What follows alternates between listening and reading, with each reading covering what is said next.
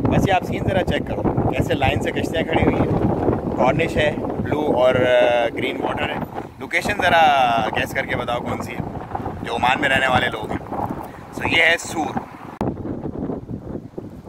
मस्कत से दो घंटे दूर, एक बेहतरीन लोकेशन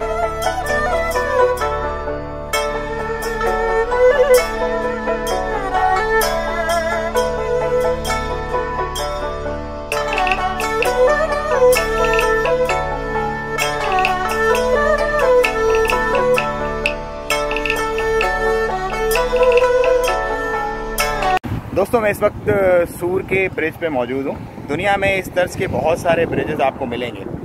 जैसे कि क्रीक ब्रिज है यूएसए में गोल्डन गेट ब्रिज है, इसी तरह लंदन ब्रिज भी है। लेकिन इस ब्रिज में कुछ ख़ास है, और वो ख़ास है इसके नीचे बहता हुआ गहरा हरा और नीला पानी और उसमें चलती हुई शिप्स जो कि टूरिस्ट को एक भरपूर अट्रैक्शन प्रोवाइड करती हैं। ओमानी लोगों की हॉस्पिटैलिटी तो वैसे ही मशहूर है। अब इन्होंने साथ साथ ये एक आर्टिफिशियल आबशार नुमा भी यहाँ पर बना दिया गया है सूर में। सो इसको काफ़ी अट्रैक्ट कर रहे हैं, लोग काफ़ी आ रहे हैं विज़िट कर रहे हैं सूर। मौसम अच्छा है तो सब कुछ ही अच्छा लगता है। मस्कत से सूर पहुँचने में आपको सिर्फ़ दो घंटे लगते हैं और अगर आपका पायलट बहुत ज़्यादा तेज़ हो तो आप डेढ़ घंटे में भी पहुँच सकते हैं। कैमराज वगैरह लगे हुए होते हैं, इसलिए काफ़ी ज़्यादा ख्याल रखना पड़ता है और ऑफकोर्स अपनी जान की भी हिफाजत करनी पड़ती है। अब मैं लेके चलता हूँ आपको, ओ, इस वाली चिमनी पे। ये भी एक मशहूर टूरिस्ट स्पॉट है सूर के लिए, वो आपको मैं दिखाता हूँ। लेकिन ये ब्रिज तो फंटास्टिक है भैया। और टिकटॉकर्स स्पेशली जो टिकटॉक बनाना चाहते हैं, उनके लिए परफेक्ट डेस्टिनेशन है ये। दिन का इस वक्त एक बज रहा है, लेकिन गर्मी का नामो निशान नहीं है दूर दूर तक, क्योंकि बादल आए हुए हैं और मौसम बहुत फंटास्टिक है। 25 से 26 डिग्री सेंटीग्रेड के करीब है, अभी मज़ीद ड्रॉप होगा जैसे जैसे धूप उतरेगी थोड़ी।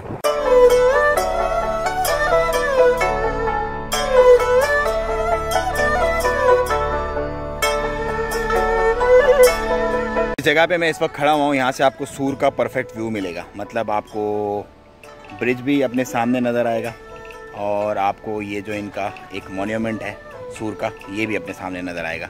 अगर आपने ओमान हैंडीक्राफ्ट देखने हैं तो वो भी यहाँ पे मेरे बिल्कुल पीछे आपको नज़र आएँगे। यहाँ पे आप देख सकते हैं। सो so, और साथ ही साथ आप सी को भी इंजॉय कर सकते हैं। मतलब एक परफेक्ट लोकेशन है। महजूज होने के लिए अगर आप महजूज होना चाहते हैं आराम से सूरज ढलेगा भी थोड़ी देर में। और यहाँ पे ठंडी ठंडी लहरों के साथ हवाएँ जो हैं वो चलना शुरू हो जाएँगी और मेस्मराइजिंग कर देंगी। इस old and new both traditions को बोथ लुक्स को।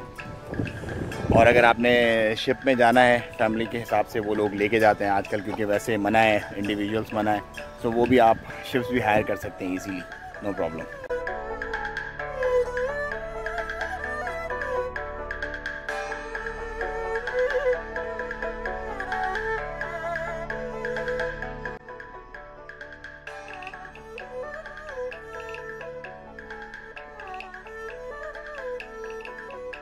तो ये था कुछ सूर से। अब टाइम हुआ चाहता है थोड़ा लंच का और नमाज़ का। मैं लेता हूँ आपसे इजाज़त।